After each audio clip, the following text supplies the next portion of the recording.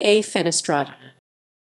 Afenestrata may refer to Alveopora fenestrata, a coral species in the genus Alveopora found in the Houtmanobralhos, Amphisbaena fenestrata, a worm lizard species, Anastrepha fenestrata, a fruit fly species, Apha fenestrata butler, a moth species in the genus Apha, and the family Eupterotidae found in India, Ausia fenestrata, a curious Ediacaran period tunicate fossil,